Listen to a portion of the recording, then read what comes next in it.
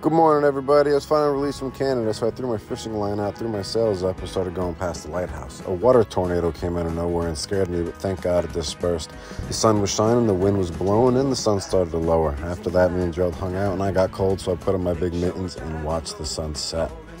It was mesmerizing. I caught no fish, but seagulls kept trying to steal my bait. Once the sun set, it got dark, the moon came out.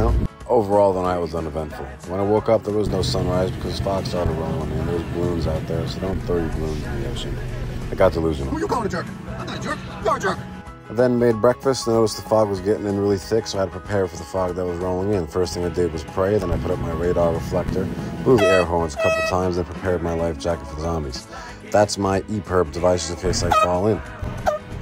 Then I ran out of fuel on the way in, so after I got there, I went to the dinghy and I got joints.